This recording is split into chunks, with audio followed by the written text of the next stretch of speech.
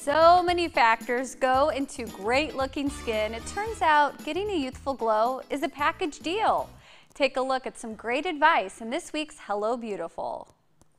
We've talked a lot about what to put on our face to have younger looking skin. Today we are tackling those habits with your lifestyle to keep your skin looking young. It's time for Hello Beautiful, so we came to the spa at West Glen. Dr. Heidi Koch joins us now to give us some great advice uh, for that youthful glow. Yes, so lots of lifestyle things that you can do. And the biggest one is the sun. Can't we So- just take a pill and just have young looking skin? Isn't that nice? That would be perfect. Uh-huh. Someone would be very rich on that.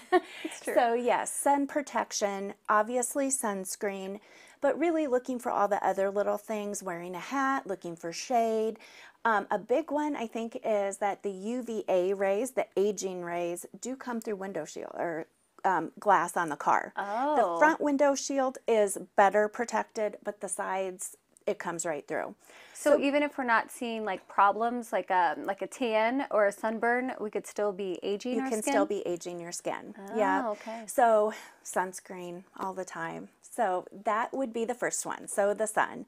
The second one is a hard one, and that is stress. So cortisol, which is your stress hormone, can um, increase oil. That's why sometimes when you're stressed, you break out.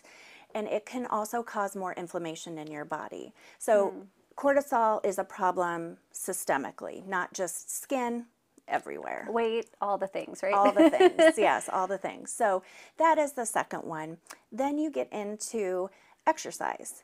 So exercise good for the entire body but it increases circulation even to the skin cells. So when you increase circulation you increase the delivery of nutrients and also of oxygen so those benefit every cell in the body so uh, Interesting. yeah so exercise um, nutrition so nutrition um, this is what's hard for a lot of people. You know, the biggest one is sugar. And so, but it is such a strong correlation to eating sugar and aging your skin.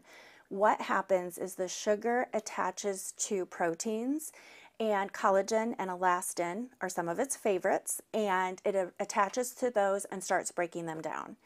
Collagen is the support and the firmness to your skin, and the elasticity is the elastin. So when you start breaking those down by this sugar attaching to them, you start getting the sagginess and then the wrinkles start to form. Oh. So sugar is a big one. Um, water, drinking water, that's always, um, when you have hydrated skin, it looks younger, more plump.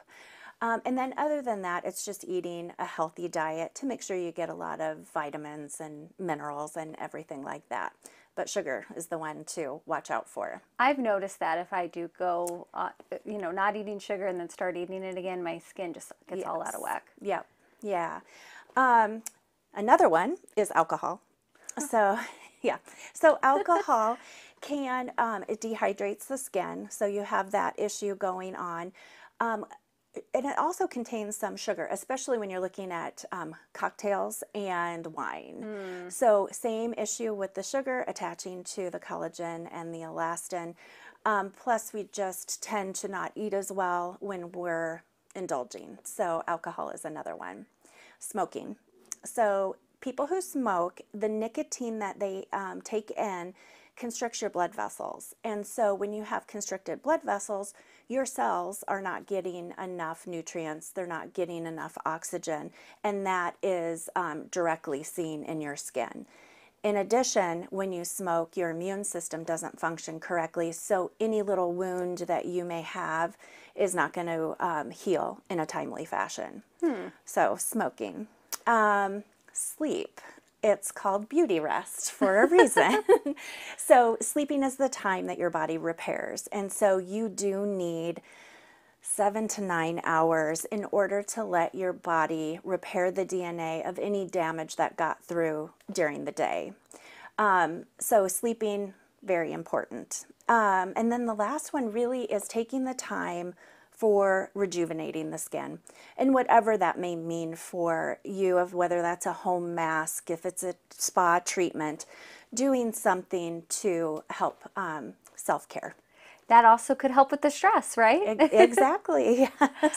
Well, Dr. Heidi, thank you so much for this great advice. I feel like yeah. this is great for our skin and just overall wellness, really. Yes, it is. It's all, it's a package deal, really.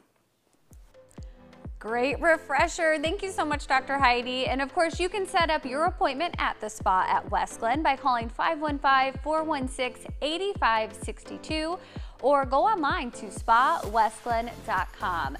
You can find so many helpful beauty tips and tricks by following Dr. Heidi and the spa on social media. Those handles are right there on your screen. Do you know how to wobble? These Des Moines firefighters do. Coming up, we'll teach you how and let you know how you can help break a world dance record.